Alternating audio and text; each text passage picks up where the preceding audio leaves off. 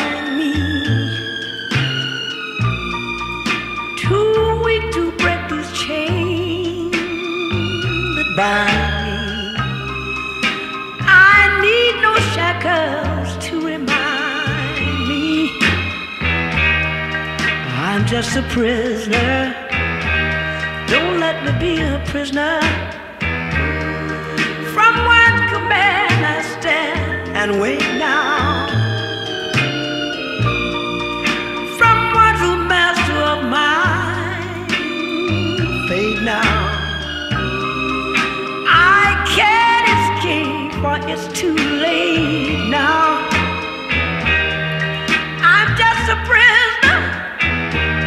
Don't let me be a prisoner.